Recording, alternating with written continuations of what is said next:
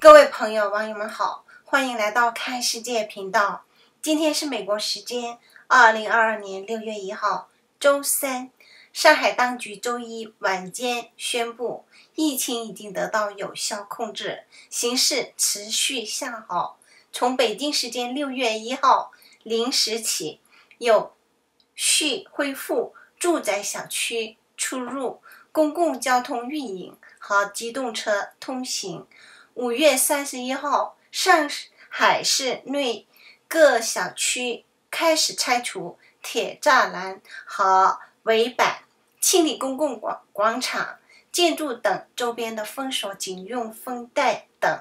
上海两千五百万市民经过两个月痛苦的封城生活，终于盼到了自由。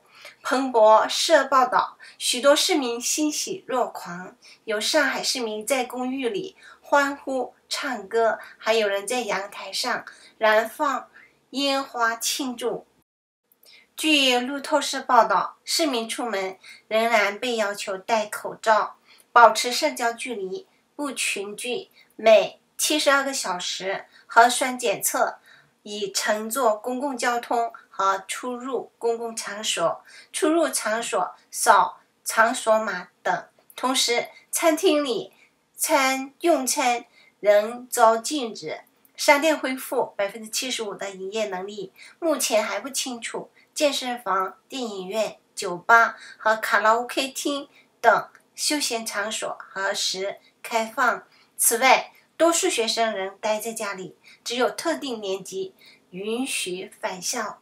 针对传传染力极强但毒性锐减的奥密克戎变异毒株，上海从三月二十号开始封城。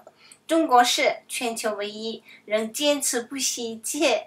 代价执行严厉清零防御政策的主要国家，上海为此付出了巨大的经济和个人代价。